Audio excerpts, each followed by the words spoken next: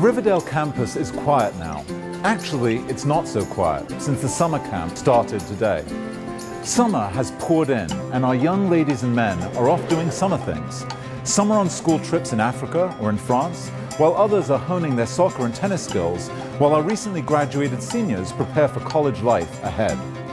Welcome to our first Riverdale Country School News Blast, an online video newscast in which we'll show you just a few of the many compelling stories related to our school.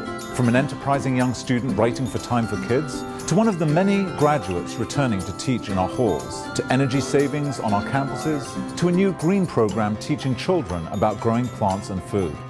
In our first story, we meet Forrest Simpson, a rising seventh grader whose byline in both Time and Time for Kids magazine is the envy of many professional journalists. I'm Forrest Simpson and I'm in sixth grade. I'm a correspondent or writer for Time for Kids, a national newspaper that's a section of Time magazine that's distributed all throughout classrooms in America. So they'll give me assignments and I'll report on them. A great experience that I also got to participate in is getting to write in the Real Time magazine. Jeff Kinney, who wrote Diary of a Wimpy Kid series, I wrote his profile for the Time 100, so I got to have a byline in Time. It's really reinforced that love of writing. Forrest hopes to be a Coast Guard pilot when he grows up, and with a track record like this, anything is possible. Did you know there's a farm on the Riverdale campus? That's right. We're turning lower school students into some of the best farmers you can find here in the Bronx. All because of a gardening program launched by lower school teachers and administrators. Let's go into this. At Riverdale Country School, we really believe in using the country in the city, and so I've always done gardening with the pre-K and kindergarten. Recently, we're expanding it to the whole lower school and weaving a green thread through our curriculum. We're documenting it through photographs, and the art department is also bringing out children to sketch in the garden. For some of the teachers, they're using it as a writing experience, in, for instance, doing a poem about nature. One of the things we want to build are children who observe and then question when we say, Where does your salad grow? We're not asking children to say in the supermarket. We really want to grow their salad from scratch here. So it's been an effort with teachers and children to think carefully about food and the food we eat. Energy awareness and conservation are on all of our minds these days. Rising senior Michael Volpert has teamed with the Director of Plant and Sustainability, David Patnaud, to make energy conservation into an educational experience. Here's a story about their ongoing efforts to make a difference on campus. Solar would be on that roof because this is almost dead south. I think I want to definitely do something with the intersection of business and science. I was talking to Ms. Marshall and she suggested that I meet Mr. Patnaud to do a green project to reduce carbon emissions in Riverdale. They're the oldest boilers on the campus and therefore they're very inefficient. Our goal is to reduce the carbon footprint by 10% at Riverdale.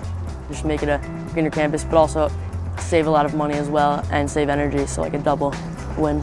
So is this like the only viable option? No, we have other options. I have a group of friends that I just enlisted and We're sort of gonna maybe break up into teams and we might even turn it into an independent study next year as a group.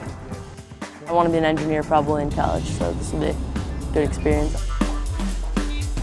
Last year, the middle school was treated to an inspirational talk from a Riverdale grad, Tim Morehouse, who won an Olympic silver medal in fencing at the Beijing Olympics. Tim told of how his fencing career almost didn't happen after he initially joined the team. The coach actually came to me, you know, he was very patient with me in the beginning, and then he came to me when he saw that it started to, uh, I started to enjoy it. He said, listen, if you don't start behaving, you don't start coming to practice, I'm going to kick you off the fencing team.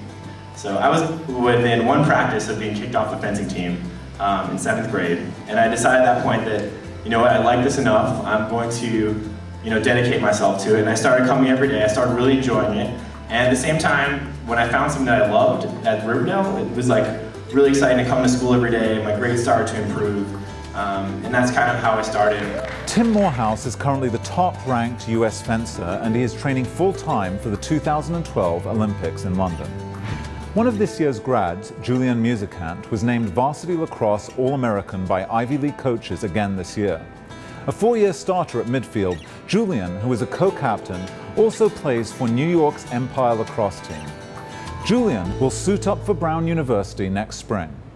Academic honors go to Dan Arnstein, a member of the Riverdale class of 2005. Dan was recently awarded a Fulbright scholarship.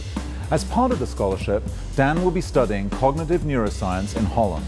Dan has come a long way since participating in Riverdale's summer science program between his sophomore and junior years. Even before his high school junior year, he made some important discoveries relating to diabetes. Eight former Riverdale students are now working as teachers or administrators on campus this year. Here's a story about one freshman teacher, Dwight Vidal, who got his inspiration from the Teach for America program. Today, he couldn't be happier to be back. Let's go with uh, let's go with Ethan. Ethan, you'll be my slim. My name is Dwight Vidal, and I'm a proud graduate of Riverdale Country School, class of 2001. I'm also a first-year teacher here at Riverdale. I teach sixth grade and 10th grade English.